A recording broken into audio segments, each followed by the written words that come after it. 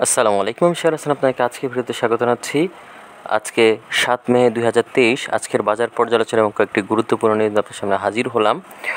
তো আপনারা যারা নিয়মিত আমার ভিডিও ফলো করেন, তো আপনারা জানেন যে আমি প্রায় চেষ্টা করে থাকি প্রতিদিন আপনার জন্য ভিডিও তৈরি করার এবং সেই ভিডিওর মাধ্যমে চেষ্টা করে থাকি কিছু বাজার পর্যালোচনা এবং গুরুত্বপূর্ণ নিউজগুলো শেয়ার করার আশা করি এতে করে আপনাদের সামান্যতম উপকার হয়। যদি উপকার হয়, তাহলে আমি আশা করব আপনারা আমার চ্যানেলটিকে সাবস্ক্রাইব করবেন এবং আমার ভিডিওতে লাইক অ্যান্ড শেয়ার করবেন। তো যাই হোক, আর কথা না বলে সরাসরি আমরা ভিডিওতে চলে যাই। তো আজকে আমরা দেখতে পাচ্ছি মার্কেট সামান্য পরিমাণ আপ হয়েছে। এটাকে আসলে আপ বলা যায় না। আমরা দেখতে পাচ্ছি ডিএসসি সাধারণ সূচকে শূন্য দশমিক এক আট পয়েন্টের মতো আপ হয়েছে। এরপর আমরা যদি দেখি এখানে ডিএসসি থার্টি সূচকে এটা কিন্তু আবার মাইনাস হয়েছে শূন্য দশমিক আট এক পয়েন্টের মতো এবং আমরা যদি দেখি ডিএসসি সরিয়া সূচক তাহলে আমরা দেখতে পাচ্ছি এটা আবার সামান্য পরিমাণ আপ হয়েছে শূন্য দশমিক সাত আট পয়েন্টের মতো। তো আমরা খেয়াল করলাম তিনটি ইন্ডেক্সের মধ্যে দুটি কিন্তু আপ হয়েছে, যদিও খুবই সামান্য বলা যায় বা আপ হয়নি এরকমই মনে হয়। আর একটি আমরা দেখতে পাচ্ছি যে মাইনাস হয়েছে। এরপরে যদি আমরা এখানে ইন্ডেক্স মুভারের দিকে খেয়াল করি, তাহলে আমরা দেখতে পাচ্ছি আজকে কিন্তু বেশ কিছু শেয়ার পয়েন্ট ভালো আপ করতে পেরেছে যেমন লাফার্স হোলসিম সিমেন্ট কিন্তু আজকে ভালো পয়েন্ট আপ করেছে, চার পয়েন্টের কাছাকাছি আপ করেছে। এছাড়াও একমি ল্যাব তারাও কিন্তু তিন পয়েন্টের মতো আপ করেছে। এছাড়াও BSC City Bank Heidelberg Cement Gemini Sea এরা মোটামুটি বলা যেতে পারে দুই পয়েন্টের কাছাকাছি থেকে শুরু করে এক পয়েন্টের মতো আপ করেছে। খুবই ভালো দিক বলা যায়। আপের ক্ষেত্রে কিন্তু আমরা পয়েন্টের ক্ষেত্রে কিন্তু দেখতে পাচ্ছি যে তেমন একটা পয়েন্ট কিন্তু আছে আপ হয়নি সমগ্র মার্কেটে এছাড়া আমরা যদি এখানে মার্কেট ড্রাইগারের ক্ষেত্রে খেয়াল করি, তাহলে দেখতেছি ইবিএল তারা কিন্তু হিউজ পরিমাণ মাইনাস করেছে আজকে পয়েন্ট তারা এখানে আমরা দেখতে পাচ্ছি দশ পয়েন্টের উপরে, এগারো পয়েন্টের কাছাকাছি মাইনাস করেছে। এছাড়াও সিপাল হোটেল মোটামুটি সাড়ে পাঁচ পয়েন্টের মতো মাইনাস করেছে। এরাই মূলত আসলে অনেক বেশি পরিমাণ মার্কেটকে টেনে নিচে নামিয়েছে। এছাড়াও ইউনিক হোটেল অলিম্পিক এরা মোটামুটি আড়াই পয়েন্টের কাছাকাছি মাইনাস করেছে। এছাড়াও এডিয়ান টেলিকম মোটামুটি দেড় পয়েন্টের কাছাকাছি মাইনাস করেছে। ইএচএল আমরা দেখতে পাচ্ছি এখানে এক পয়েন্টের কাছাকাছি মাইনাস করেছে। তো যাই হোক, এই হচ্ছে মোটামুটি ইন্ডেক্স মুভের অবস্থা। তো আমরা যদি এখানে দেখি ট্রেড স্ট্যাটিস্টিক তাহলে আমরা খেয়াল করছি যে আজকে মাত্র একষট্টি শেয়ার আপ হয়েছে, অপরিবর্তিত ছিল দুশো বারোটি এবং সাতাত্তরটি শেয়ার আমরা দেখতে পাচ্ছি যে মাইনাস হয়েছে। অপরদিকে আমরা যদি দেখি যে টাকার অঙ্কের লেনদেন, তো আমরা দেখতে পাচ্ছি টাকার অঙ্কের লেনদেন কিন্তু আজকে গত দিনের তুলনায় কিছুটা কমেছে। তারপর আমরা দেখতে পাচ্ছি যে আটশো ছিচল্লিশ দশমিক দুই এক চার কোটি টাকার মতো লেনদেন হয়েছে। মোটামুটি বলা যায় যে সামান্য পরিমাণ কমলেও ভালোই রয়েছে মার্কেটের অবস্থা। এরপর আমরা যদি এখানে টপ গেনের এবং লুজারের ক্ষেত্রে দেখি, তো টপ গেনের আমরা দেখতে পাচ্ছি এখানে খান ব্রাদার্স, তারা হল্টেড হয়েছে আজকেও গত দিনও কিন্তু ভালো করেছিল হল্টেড হয়েছিল আজকেও হল্টেড হয়েছে আমরা খেয়াল করছি। এছাড়াও সুরুইদ ইন্ডাস্ট্রিজ, তারপরে মিডল্যান্ড ব্যাংক এবং এমার্ড অয়েল এরা কিন্তু মোটামুটি ভালো পরিমাণে আপ হয়েছে। সাড়ে নয় পার্সেন্টের মতো আপ হয়েছে বলা যায়। নয় পার্সেন্ট থেকে শুরু করে মোটামুটি ভালোই আপ হয়েছে বলা যায়। এছাড়াও হাওয়েল টেক্সটাইল সেন্ট্রাল ফার্মা মোটামুটি ভালোই আপ করেছে এরা। অপরদিকে যদি আমরা লুজারের ক্ষেত্রে দেখি, তাহলে আমরা দেখতে পাচ্ছি লুজারের ক্ষেত্রে ইবিএল তারা কিন্তু আমরা খেয়াল করছি যে এগারো পার্সেন্টের বেশি মাইনাস করেছে। এছাড়াও সিপাল হোটেল কিন্তু মাইনাস করেছে আট পার্সেন্টের বেশি। বাকি লিগেসি ফুটওয়্যার রূপালী লাইফ এরা কিন্তু মোটামুটি আমরা দেখতে পাচ্ছি যে সাত পার্সেন্টের বেশি মাইনাস করেছে। তো যাই হোক, এই হচ্ছে মোটামুটি টপ গেন এবং লুজারের লিস্ট এরপরে যদি আমরা এখানে টাকার অঙ্কের লেনদেনটা যদি খেয়াল করি, তাহলে আমরা দেখতে পাচ্ছি আজ কিন্তু বিএসসি টাকার অঙ্কের লেনদেন অনেক ভালো অবস্থানে ছিল এবং মূল্য কিন্তু বৃদ্ধি পেয়েছে। তো বিএসসি কিন্তু একটা ভালো শেয়ার আমি আগে আপনাদেরকে বলেছিলাম, আপনারা চাইলে কিন্তু দীর্ঘমেয়াদে এই শেয়ারটি সম্পর্কে ভাবতে পারেন। এরপর আমরা দেখতে পাচ্ছি যে ইএচএল এবং সিপাল হোটেল মোটামুটি বৃদ্ধি পেয়েছে, তবে বিএসসির কাছাকাছিও যেতে পারেনি টাকার অঙ্কের লেনদেনে। এরপর আমরা যদি এখানে দেখি যে মার্কেট ম্যাপ মার্কেট ম্যাপে আমরা খেয়াল করছি যে আজকে কিন্তু সিমেন্ট সেক্টরটি ভালো করেছে। এছাড়া আর তেমন একটা ভালো আমরা দেখতে পাচ্ছি না। অপর দিকে যদি আমরা খেয়াল করি খারাপের অবস্থা, তো আইটি সেক্টরটি বেশি খারাপ করেছে, এরপরে সার্ভিস অ্যান্ড রিয়েল খারাপ করেছে। তবে সবচেয়ে বেশি খারাপ করেছে আমরা এখানে দেখতে পাচ্ছি ট্রাভেল অ্যান্ড লেজার সেক্টরটি এরপরে আমরা যদি এখানে ব্লক ট্রানজেকশনটা যদি খেয়াল করি, তাহলে আমরা দেখতে পাচ্ছি ব্লক ট্রানজেকশনে এসপি সিরামিক মোটামুটি লেনদেন হয়েছে। স্কোয়ার ফার্ম আমরা দেখতে পাচ্ছি যে ভালো পরিমাণ লেনদেন হয়েছে ব্লক মার্কেটে জেমিনিসি ভালো পরিমাণ লেনদেন হয়েছে। এরপর আমরা দেখতেছি সিপাল হোটেল ভালো পরিমাণ লেনদেন হয়েছে সিটি ব্যাংক ভালো পরিমাণ লেনদেন হয়েছে সোনালি পেপারও ভালো লেনদেন হয়েছে, আমরা খেয়াল করছি। তো যাই হোক, এই হচ্ছে বিষয়। তো এই হচ্ছে এক নজরে বাজারের অবস্থা। তো চলুন আমরা এখন চলে যাই কয়েকটি গুরুত্বপূর্ণ নিউজে তো আমরা প্রথমে যে নিউজটি দেখব, সেটি হচ্ছে প্লেসমেন্টের প্রতারণায় শেয়ারবাজার নিষিদ্ধ প্রাইম ব্যাংক সিকিউরিটিজে এভিপি তো একটু আমরা নিউজটা দেখি, আমরা দেখতে পাচ্ছি যে প্রাইম ব্যাংক লিমিটেডের সহযোগী প্রতিষ্ঠান প্রাইম ব্যাংক সিকিউরিটিজের এবিপি আব্দুল বারিকে পাঁচ বছরের জন্য শেয়ার বাজার থেকে নিষিদ্ধ করেছে নিয়ন্ত্রণ সংস্থা Bangla Securities and Exchange Commission তো তিনি আসলে কী সমস্যাটা করেছেন আমরা দেখি, তিনি প্রাইম ব্যাংক সিকিউরিটিজের একুশ জন গ্রাহকের কাছ থেকে প্লেসমেন্ট শেয়ারের নামে বারো কোটি টাকা হাতিয়ে নিয়েছে। বিষয়টি নিয়ে অভিযোগ করেন ভুক্তভোগী বিনিয়োগকারী। তাদের অভিযোগের ভিত্তিতে বিএসসি তদন্ত করে আব্দুল বারিকে নিষিদ্ধ করে। তো প্লেসমেন্টের জিনিসটা কি সেটা একটু আপনাদের বলি। সেটা হচ্ছে যে প্লেসমেন্ট যখন কোনো একটি শেয়ার বাজারে আসার সম্ভাবনা থাকে, তখন সেই বাজারে আসার আগেই কিছু কিছু শেয়ার কিন্তু বিক্রয় করে থাকে। তখন এই বিক্রয়ের উপর বা আমরা বলতে পারি যে, মার্কেটে আসার আগে সেই শেয়ারগুলো সেল করা যায়। অনেক সময় দেখা যায় যে, ওই শেয়ারটি বিডিংয়ের মাধ্যমে একটা নির্দিষ্ট প্রাইস তখন ক্রিয়েট করা হয় যে, ওই প্রাইজের উপরে প্লেসমেন্টে পাবে আর কি তারা এবং ওই প্লেসের থেকে কিছুটা ডিসকাউন্ট দিয়ে হয়তো শেয়ার মার্কেটে আইপিওর মাধ্যমে ছাড়া হবে শেয়ারগুলো তো এটাই হচ্ছে প্লেসমেন্টের সিস্টেম তো প্লেসমেন্টে পেলে কি হয়? প্লেসমেন্টে পেলে যে নিশ্চিতভাবেই একটা হিউজ পরিমাণ শেয়ার পাওয়ার সম্ভাবনা থাকে। তো এই জন্য অনেকে কিন্তু প্লেসমেন্টে আগেই টাকা জমা দিয়ে রাখে যাতে করে আইপিও আসার আগে ওই শেয়ারগুলো পাওয়া যায়। তবে প্লেসমেন্টে পাওয়ার একটা যেই সমস্যা সেটা হচ্ছে যে এই শেয়ারগুলো পাওয়ার পরে কিন্তু একটা নির্দিষ্ট সময় পর্যন্ত লক করা থাকে। অর্থাৎ শেয়ারগুলো বাইসেল করা যায় না। তো এই জন্য দেখা যায় যে ওই, ওইটাতে, ওই ক্ষেত্রে কিন্তু দেখা যায় অনেক সময় শেয়ারটির মূল্য যখন বাজারে লেনদেন শুরু হয়, এরও কয়েক এক বছর পরে হয়তো আপনি লেনদেন করতে পারবেন। তার মানে হচ্ছে যে প্লেসমেন্ট আপনি ক্রয় করার পরে যেটা শেয়ার মার্কেটে লিস্টেড হবে, ওই লিস্টেড হতেও একটা সময় লাগে এবং এই লিস্টেড হওয়ার পরেও আরও এক থেকে দুই বছরের মতো সময় লাগে লক ইন পিরিয়ডটা ছুটতে। তো এর মধ্যে কিন্তু দেখা যায় যে অনেক সময় শেয়ারটির মূল্য পতন ঘটতে পারে এবং পতন ঘটলে আপনি যেই দামে ক্রয় করেছিলেন, সেটাই কিন্তু আপনার লস হতে পারে। তো যাই হোক, এটা হচ্ছে প্লেসমেন্টের সাধারণ যে নিয়ম নিয়মকানুন।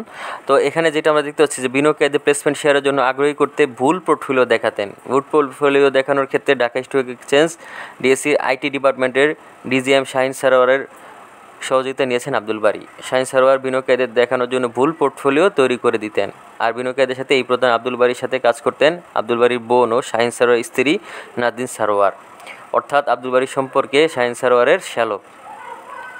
আব্দুল বাড়ি রাজশাহী জেলার বোয়াশিয়া উপজেলায় বোসপাড়া গ্রামের আব্দুল সোবাহান ও নুন্নাহারের ছেলে।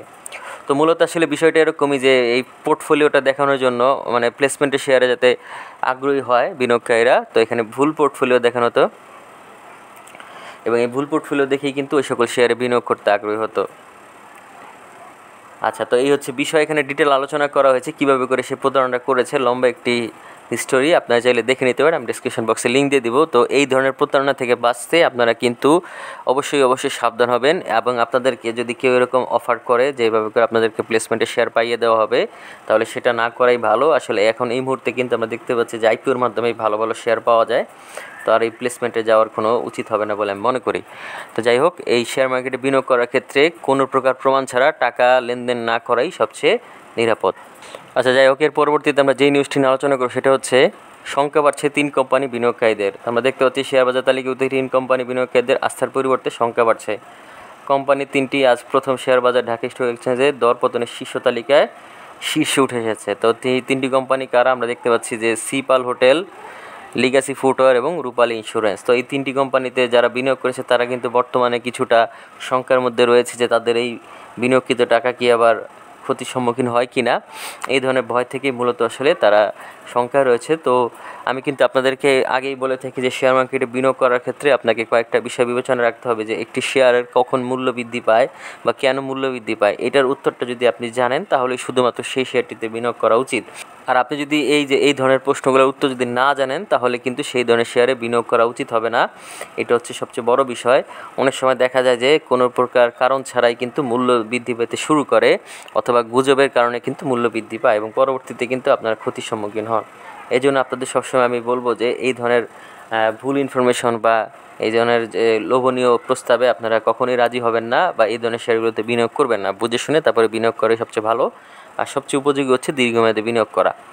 যাই হোক, এর পরবর্তীতে আমরা যেই নিউজটি নিয়ে আলোচনা করব, সেটি হচ্ছে লোকসানি তিন কোম্পানির চমক। আমরা দেখতে পাচ্ছি সপ্তাহের প্রথম কার্য দিবস আজকে রোববার তিন কোম্পানির চমক দেখেছে। কোম্পানি তিনটির মধ্যে দুটি কোম্পানির লোকসান কমেছে। অন্যটি উৎপাদন বন্ধ রয়েছে দীর্ঘদিন যাবৎ বিনিয়োগকারীদের কোনো তথ্য দিচ্ছে না। তো দেখেন, এই যে লোকসানি কোম্পানিগুলোরও কিন্তু মূল্য বৃদ্ধি পায় বা যেগুলির উৎপাদন বন্ধ, সেই সকল কোম্পানিরও মূল্য বৃদ্ধি পায় এটা খুবই একটা হতাশাজনক। এই জন্যই আমরা আসলে ক্ষতিগ্রস্ত হই। আসলে বিএসসিসি বা ডিএসসিকে দোষ দিয়ে কোনো লাভ নেই, তারা কিন্তু তাদের মতোই কাজ করে, কিন্তু আমরা নিজেদের ভুলের কারণে আমরা ক্ষতিগ্রস্ত হই। যেমন আমরা দেখতে পাচ্ছি যে এই তিনটি কোম্পানি কারা? হামিদ ফেব্রিক্স ইয়াকিন পলিমার ও সুরিদ ইন্ডাস্ট্রিজ তো ঠিক আছে, আমরা দেখতে পাচ্ছি যে আজকে হামিদ ফেব্রিক্স কিন্তু লোকসান এক পয়সায় নেমে এসেছে, যা আগের বছর ছিল চার পয়সা, অর্থাৎ কিছুটা লোকসান কমেছে বলা যায়। এরপর আমরা দেখছি ইয়াকিন পলিমার, তাদের যদি আমরা জানুয়ারি থেকে মার্চ দু হাজার যদি লোকসানটা দেখি, বত্রিশ পয়সা, যা আগের বছর ছিল একচল্লিশ পয়সা, অর্থাৎ সামান্য পরিমাণ লোকসান কমেছে। অপরদিকে সুরিদ ইন্ডাস্ট্রি দু হাজার উনিশ সালে, কিন্তু কোম্পানিটি দশ শতাংশ ক্যাশ ডিভিডেন্ড দিয়েছিল। কিন্তু সেই টাকা কিন্তু বিনিয়োগকারীদের বিতরণ করেনি। অর্থাৎ তারা ঘোষণা করেই খালাস, তারা আর কোনো প্রকার মানে যে সেই ডিভিডেন্ডটা কিন্তু তারা প্রদান করেনি। অর্থাৎ তাদের কাছে টাকা থাকলে সেন করবে। আমার কাছে মনে হয় না, তাদের কাছে টাকা ছিল। যাই হোক, এর মধ্যে আমরা দেখতে পাচ্ছি বিএসসিসি কোম্পানি পরিচালকদেরকে অর্থদণ্ড দিয়েছে এবং এরপরে কিন্তু কোম্পানির পরিচালকরা লাপাত্তা হয়ে গিয়েছে এবং কোম্পানির উৎপাদনও বন্ধ। তারপরেও কিন্তু আমরা খেয়াল করেছি যে এই শেয়ারটির কিন্তু দেখেন এই যে এখানে আমরা যদি খেয়াল করি, তাহলে এটা কিন্তু মূল্য বৃদ্ধি পেয়েছে। এটা খুবই একটা খারাপ দিক। আমরা যদি দেখি, এই দেখেন, এই এই শেয়ারটির কিন্তু মূল্য বৃদ্ধি পেয়েছে। এটা সত্যি একটা হতাশাজনক ঘটনা যে কীভাবে ঘটে, এই ধরনের শেয়ারগুলোর মূল্য বৃদ্ধি পায়। এবং এখনও কিন্তু এটা ষোলো টাকা কিন্তু বাজারে লেনদেন হয়েছে। সেটা খুবই হতাশাজনক। আচ্ছা যাই হোক এর পরবর্তীতে আমরা যেই নিউজটি নিয়ে আলোচনা করব, সেটি হচ্ছে শেয়ার বিক্রি চাপে কমেছে লেনদেন। তো আজকে কিন্তু আমরা সামান্য পরিমাণ লেনদেন কমতে দেখলাম, তবে এটা আমার কাছে মনে হয় কিছুটা কারেকশন হতে পারে। তো এতে ভয় পাওয়ার কোনো কারণ নেই, এখন দেখা হচ্ছে যে আগামী দিনগুলোতে কীরকম হয়। আজকে কিন্তু মার্কেট কিছুটা মাইনাস হয়েছে যদিও, তবে আমার কাছে মনে হয় এখনও ভয়ের কোনো কারণ নেই। আর একটু অপেক্ষা করলে আমরা বুঝতে পারব আসলে মার্কেট কোন দিকে যাচ্ছে।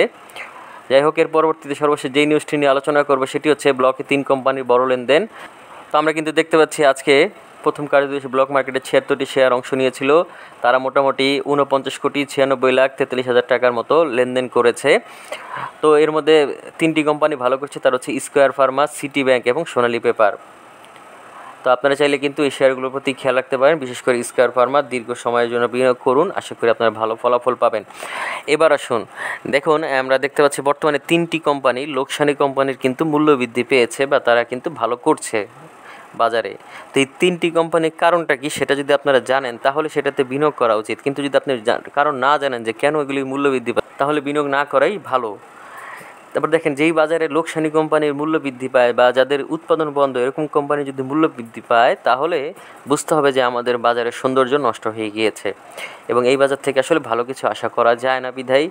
এই বাজারের এখনও এই দৈন্যদশা এবং আমরা কিন্তু বিএসসিসি বা ডিএসসিকে চাইলেই দোষারোপ করতে পারি। হ্যাঁ দোষারোপ করা যায় যে এই ধরনের উৎপাদন বন্ধ কোম্পানি কীভাবে করে শেয়ার মার্কেটে এখন লিস্টেড থাকে বা তারা কোনো প্রকার কঠিন পদক্ষেপের আওতার বাইরে থাকে, সেটাও একটা বিবেচনার বিষয়। এবং গ্রাহকের টাকাগুলো কীভাবে ফেরত পেতে পারে, এই বিষয়ে তারা কী সিদ্ধান্ত গ্রহণ করেছে সেটা একটা দেখার বিষয়। কিন্তু তারপর আমাদের নিজেদের ভুল রয়েছে, আমরা আমাদের নিজেদের ভুলকে অন্যের উপর চাপাতে পারি না বা নিজেদের দোষকে অন্যের উপর চাপিয়ে নিজেরা নিরাপদ থাকতে পারি না বা থাকা উচিত নয়। এই জন্য আমি আপনাদেরকে সবসময় বলি যে দীর্ঘমেয়াদে ভালো ভালো শেয়ারে বিনিয়োগ করুন এবং খুবই অল্প পরিমাণ প্রফিটের উপরে বিনিয়োগ করুন, যেটা আসলে নিয়মিত পাওয়া যাবে। এরকম প্রফিটে যদি আপনারা বিনিয়োগ করেন, সেটা অনেক অল্প হলেও কিন্তু আপনার সেটা অনেকাংশে ম্যাক্সিমাইজ করবে। তো যাই হোক, আজকে আর বেশি একটা কথা বলব না। আশা করব আপনারা দীর্ঘমেয়াদে ভালো মতো বিনিয়োগ করবেন এবং ভালো ভালো শেয়ারে বিনিয়োগ করবেন। তো সেই প্রত্যাশায় বা সেই আশাবাদ ব্যক্ত করে আজকে এখানে বিদায় নিচ্ছি। আগামীতে দেখা হবে নতুন কোনো ভিডিও নিয়ে। সেই পর্যন্ত আল্লাহ হাফেজ। আসসালামু আলাইকুম।